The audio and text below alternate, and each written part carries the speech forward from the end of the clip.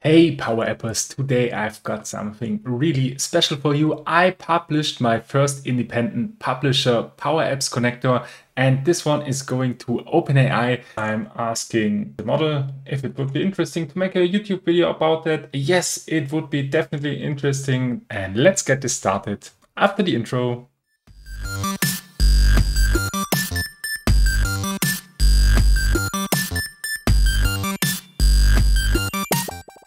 So first of all, we're going to look a little bit at what uh, OpenAI is and what models do they have.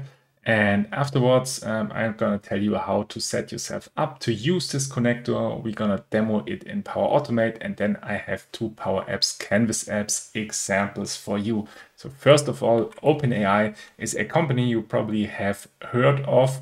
Um, right now in use is a lot of the image generation model DALL-E2 uh, alongside models of uh, other companies who do basically the same and they generate images from a prompt but this model has no API at all. Um, so we're going to look at GPT-3, short for Generative Pre-trained Transformer 3 and it's an auto-regressive language model that uses deep learning and I have no idea what all of that means. That doesn't mean that we can't use the model, so let's look at what we can do with this human-like text the model produces. Uh, first of all, of, course, this model can do um, writing like news writing, and you probably have written news already that were um, that were written by an AI and not by a human author. And this is also really creative and can write fiction. And this thing, as you see on the top, knows actually everything, the whole internet. It was fed by 45 terabytes of just text data um, alongside all Wikipedia, lots of books and lots of random stuff from the internet. And this model speaks actually multiple languages you don't select a language, you just start talking in a language and it responds in that respective language uh, to you most of the time. And it also speaks programming languages, which you probably know from the Ideas tab um, in your Canvas apps editor. And this is powered by GPT-3 as well. So let's first take a quick look at the OpenAI homepage. It takes just a few minutes to set up your account. And to try this, you will need an API key from this website. So you will need an account. And if you want uh, to use this model a lot, this will cost money. But when you register yourself, then you get a three months trial phase and you can actually um, spend $18 in credits. And this is actually more than enough to give this a proper testing and have lots of fun with it. So you can find your um, API key right here. And there's your API. We will copy that because we will need it later on. And there is some great documentation around the API. You can definitely check out if you want to add more endpoints to my connector and start teaching the model um, a few things and use your custom model. And there is more to explore here. Let's look at the playground because this basically just works like the API. Um, we will give a prompt to the API and will receive a response. This is the main thing that does. So we just give a string in and get a string out. We can set a few properties. The most important property is which engine to use. And if you want to get human-like text, you will probably uh, use most of the time the DaVinci model. And the other things are really well explained right here. Um, you should take a look of that yourself. So first of all, um, we're gonna use this hint text right here, but we will extend it a little bit and look for a tagline for an ice cream shop, including the word rainbow. And then we will get a response, the best ice cream in town and every flavor is a rainbow which sounds really nice, probably as creative as I would have been, but um, really fast and it does make sense. Manufacturing these prompts, so these uh, tasks you have for the API, um, is a science in itself. So uh, you should definitely check out these examples right here. And we're going to look at my favorite example down there. It's Marv the sarcastic chatbot. Let's open that up in the playground as well and take a closer look at the prompt. The prompt is a little bit longer and I'm gonna tell you why.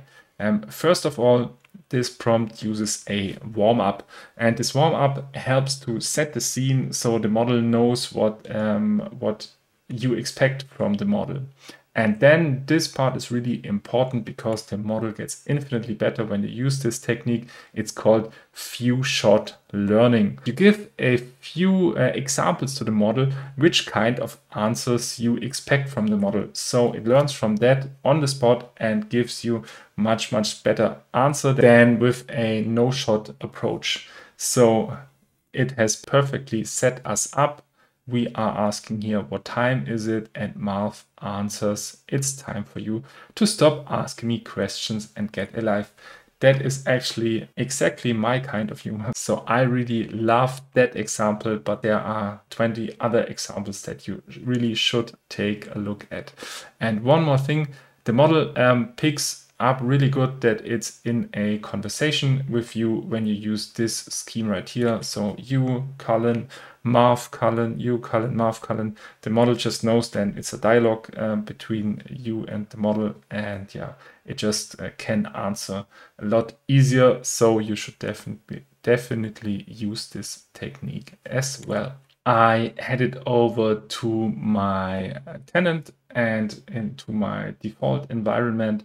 And what we are trying right here is uh, setting up the new connection. This is uh, what you will see when you use the connector for the first time. So we will use new connection right here. You don't have to do that manually. If you use it the first time, it will show you. So we're going to look at the OpenAI independent publisher connector, and this is published to your tenant as well. So everyone who hasn't blocked it by DLP can use it. So we're gonna go right here and you see this was published by me really, really cool to have my name uh, up on the Power Platform on the uh, official product. So, and I gave you many hints because um, you shouldn't get that wrong. You need to write your API key as bearer. So just type it as it is right here, then a blank, and then copy in your API key. And the whole thing will look like this, bearer blank and uh, no worries, I will delete this API key afterwards and generate a new one. So you can't use this, you have to get your own through the website. And then you click accept and create and it will work, but use the word bearer in front and then a blank and then the actual API key. And we can use that in Power Automate and Power Apps Canvas app. So we will start with Power Automate first and get it going really quickly. Generate a, new flow, manually trigger it, and then we look for the OpenAI connector. And this has just one endpoint just the completion endpoint, the most important one. And let's look at what we have to plug in right here. As I told you, the engine, uh, you need to fill it out.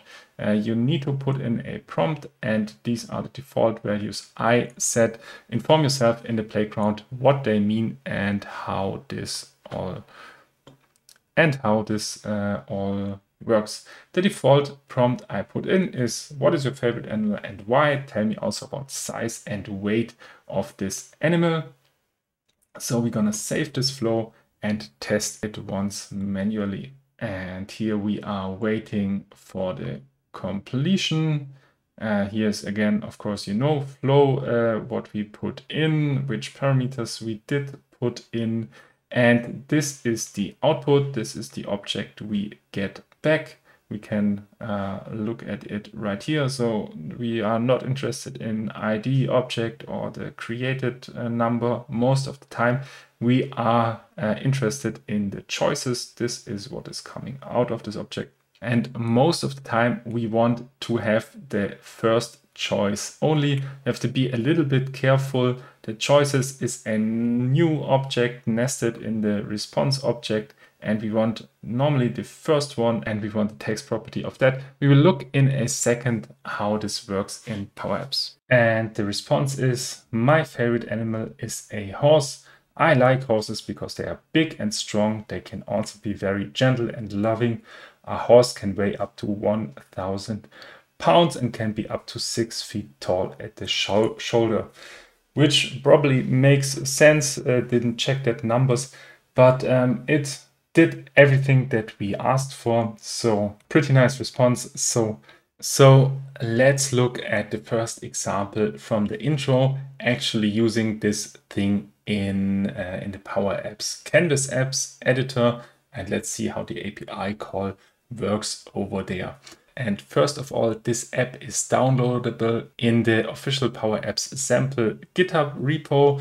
So I'm gonna give you the link uh, up here and down there. Um, it's been checked by Microsoft so uh, that you can safely download it and get started in a few minutes. Um, if you want to set, don't want to set up anything yourself, just put in your API key and this thing should start working. And another thing, if you like the design of this model, you should definitely check out Kristine Kolodziejewski's, I hope I said that right, um, her blog and search for the Neumorphic uh, Dark Design Kit because that is what I used building this app. And yeah, I think it came out really nicely. So shout out to Kristine. Really nice stuff you put out there for everyone to use and build apps upon. And um, again, let's ask something. What is your favorite movie. And then second, we are looking at how this is set up. My favorite movie is The Shawshank Redemption. This is also one of my absolute favorites. Um, who was the director? Uh, I think this is correct. And let's ask one more thing. And that actually sums it up pretty nicely in a pretty short manner. That is the actual plot of the movie. And as you see, this model picks up context just really, really good. I am not asking who was the director of the movie Shawshank Redemption, but I just asked who was the director and the model just knew because it mentioned the Shawshank Redemption earlier that I mean just this and the same thing of course with the synopsis. It just picks uh, this up from the messages that I sent earlier. And how do we set this up? We take a look at this text right here. This is the whole prompt I am I am sending Again, I'm using a warm up message up here, and then I'm using the notation u colon GPT-3 colon, and I'm telling it that it's named GPT-3, so it picks up that I am talking to GPT-3. And then for each API call we are doing, um, we are looking a little bit deeper in the code uh, in the second demo. Um, but I'm sending the whole conversation as a text. And as I said, a link to the app is in the description when you want to look um, deeper into the app and how the calls are made. And also, of course, how the design was made, if you like that. So let's look at the second example. It's my ultimate sample data generator and I love playing around with this. We can plug in here for which topic we like sample data and we were we are asking for capitals of European countries right now. Then we get data, we start an API call right here, and we get Paris, Berlin, Rome, Madrid, London back. Then we generate images and replace Chuck Norris in a second right here by beautiful images these are not provided by GPT-3. This is just the Google image search, but it's a nice touch I added to the app and it's actually my favorite part going through the different images and yeah, looking at them really, really nicely. And then we can add descriptions.